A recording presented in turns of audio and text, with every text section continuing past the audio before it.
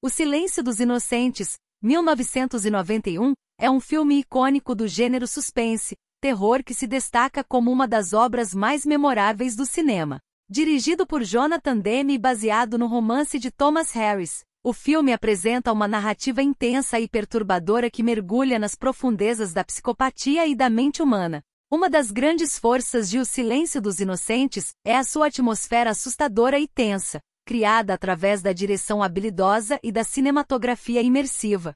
O uso de som e luz contribui para a construção do suspense e do desconforto, mantendo o espectador à beira do assento ao longo do filme. As performances são espetaculares, com destaque para Anthony Hopkins no papel do notório Dr. Hannibal Lecter. Sua atuação magnética e arrepiante é inesquecível, capturando a essência perturbadora do personagem. Jodie Foster também entrega uma performance poderosa como agente do FBI Clarice Starling, transmitindo vulnerabilidade e força em igual medida.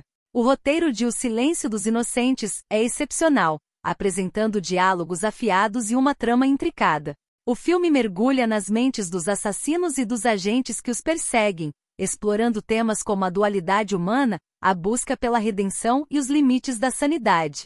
Além das performances e do roteiro, o filme aborda questões psicológicas e sociais de maneira profunda. Examina as camadas do mal e da violência, explorando a natureza sombria da humanidade. Ao mesmo tempo, aborda a coragem e a determinação de enfrentar os demônios interiores e a injustiça.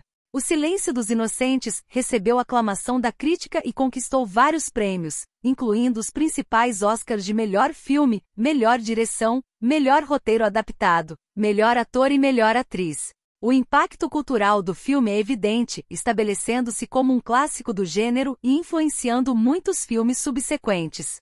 Em suma, O Silêncio dos Inocentes é um filme poderoso e perturbador que se destaca como uma obra-prima do suspense. Com sua atmosfera assustadora, atuações excepcionais e roteiro brilhante, o filme nos confronta com as profundezas da mente humana e nos leva a questionar nossa própria natureza. É um exemplo do poder do cinema em nos perturbar, intrigar e nos fazer refletir sobre a complexidade da condição humana.